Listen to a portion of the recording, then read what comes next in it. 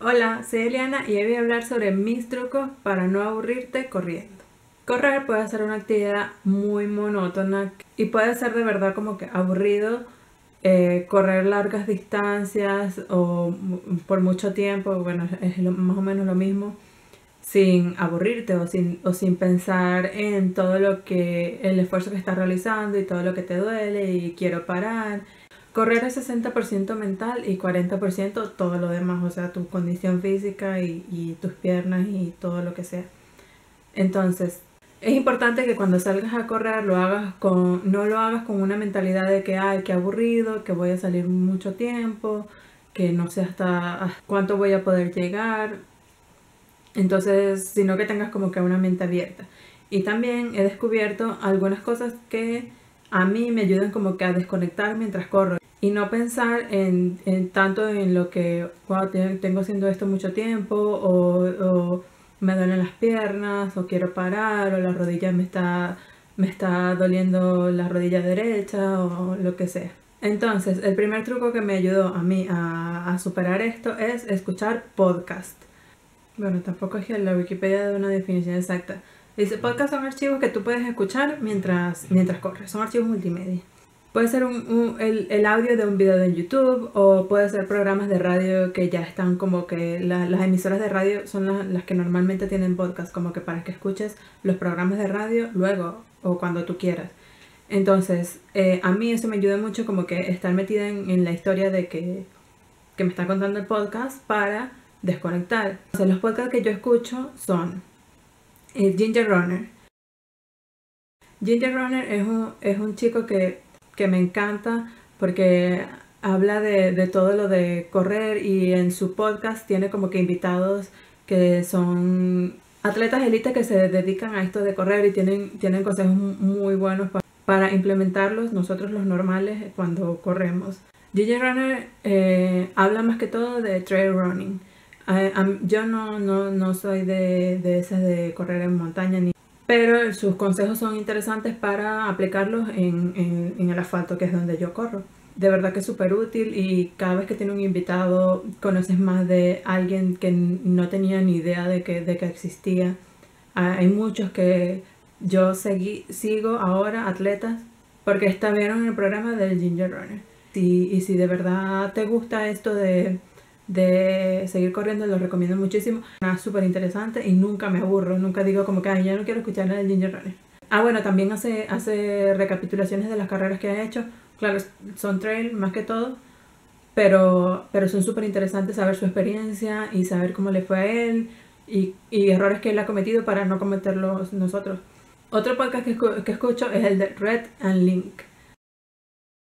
Ellos son dos chicos que son youtubers que hacen videos súper graciosos de, y también musicales, canciones y, y, en su podcast entrevistan a otros youtubers. Yo, a mí el mundo de YouTube me fascina, estoy, sí me interesa mucho toda esta gente como que se ha creado una carrera de algo que es un hobby. Entonces, eso es súper interesante. Y ellos como que entrevistan a todos los youtubers eh, famosos y es súper interesante saber de sus vidas y de cómo, cómo se iniciaron. Me gusta mucho, han entrevistado a mucha gente, muchos, muchos youtubers que, que yo sigo y por eso como que los conoces más. Grace Helbig tiene un podcast que eh, empezó hace poco, que es como que lo contrario de Red and Link. Entonces, en Good como que entran como que a lo profundo de la vida de la gente y le preguntan cosas personales y tal. En cambio, Grace eh, hace como que lo contrario, como que no sé, mm, sus preguntas son súper absurdas y, son súper graciosas, pero, o sea, como que no llega al punto de conocer, o sea, de hacer preguntas profundas, claro, de la vida privada de gente o de su pasado o de eso, sino cosas graciosas y de verdad que es entretenido. Eh, otro podcast también que escucho es el de un señor que se llama Dave Ramsey. Dave Ramsey tiene un, un, programa de radio en Estados Unidos o de lunes a viernes. Dave Ramsey es un autor de muchos, muchísimos libros, es un, es un empresario. Podcast que es el programa de radio, la gente como que lo llama, le cuenta su situación. Él, él como que da su punto de vista, o sea, su, su, manera es de que él se pone en los zapatos de la otra persona que le está preguntando y da, da como que qué haría él en esa situación eh, y generalmente son problemas financieros.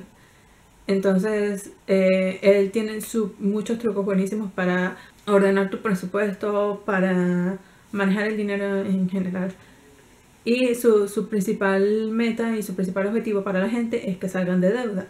Igual esto el tema financiero es un poco delicado, pero que como que bueno, cada quien hace lo que quiere con su dinero en realidad.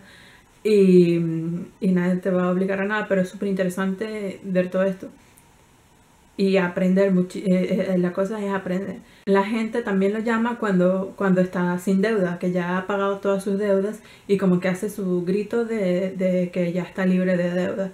Y eso a mí me emociona muchísimo porque es como que una gente, una familia, generalmente es una familia o alguien, una persona que ha trabajado muchísimo para salir de esa deuda. Entonces cuando ellos eh, lanzan el grito ese de que ya no tienen deuda es súper emocionante a mí. La primera vez que yo lo escuché, casi que lloro y corriendo porque digo, ay, como que no tienen deuda, como que son felices, ya pueden hacer su vida totalmente diferente a antes. Es diferente vivir la vida sabiendo que tienes que pagar mil cosas a decir como que, ok, tengo que pagar facturas, pero no tengo que pagar deudas, ¿sabes? Porque una cosa son facturas y otra cosa son deudas. Entonces, eso es súper, súper, súper interesante para mí. Otra cosa que quería decir de todos estos podcasts que he hablado es que son en inglés y los voy a dejar abajo los nombres para si a alguien le interesa que se suscriba. Ahora voy a insertar el clip de cuando me empecé, hoy es sábado, me empecé ayer viernes, como dije que todos los viernes me iba a pesar.